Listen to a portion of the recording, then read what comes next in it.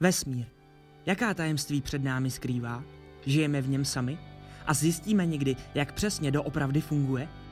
Odpovědi nejen na tyto otázky budeme hledat v novém pořadu Vesmírné novinky, jehož první díl právě teď sledujete. Vědci z celého světa řeší v těchto dnech jednu obrovskou záhadu. Kolem Země prolétl záhadný mimozemský objekt, který se naprosto vymyká všemu, co jsme dosud ve vesmíru mohli spatřit. Jedná se o kometu, asteroid anebo kosmickou loď nějaké mimozemské civilizace? Observatoř Haleakala, Havajské ostrovy 19. října 2017.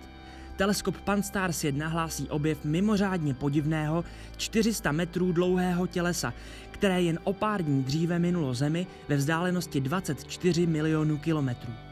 V době objevu se už těleso od nás zase vzdalovalo a klesala jeho jasnost, což vědcům trochu zkomplikovalo další výzkum.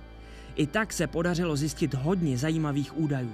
Délka objektu je asi desetkrát větší než šířka, takže svým tvarem připomíná doutník. Velmi neobvyklá je i rychlost, jakou se pohybuje, až 44 km za sekundu, což je několikanásobně víc oproti nejrychlejším podobným tělesům obíhajícím ve sluneční soustavě. A teď to nejvíc fascinující. Vzhledem k protáhlému tvaru dráhy si jistotou můžeme říct, že objekt nepochází z naší sluneční soustavy, ale přilétl ze vzdáleného mezihvězdného prostoru. Těleso dostalo název Homuamua, což v havajštině znamená posel.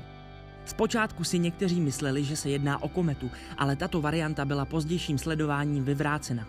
Neprokázalo se totiž žádné uvolňování prachu a plynu, jak to bývá u komet obvyklé. Někteří vědci proto začali hovořit o tom, že by se možná mohlo jednat o mimozemskou kosmickou loď.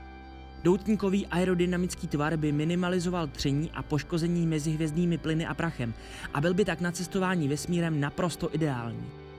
I tato varianta ale má své trhliny. Radioteleskopy například nezachytily žádné technologické signály. Pokud by se tedy skutečně jednalo o loď mimozemšťanů, s největší pravděpodobností by již musela být opuštěná.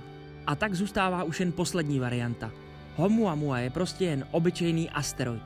Vesmírný tulák, který miliony let putuje od jednoho planetárního systému k druhému. Jaký názor na tuto vesmírnou záhadu máte vy? Těším se na vaše komentáře. Další díl vesmírných novinek tu bude zase příští týden.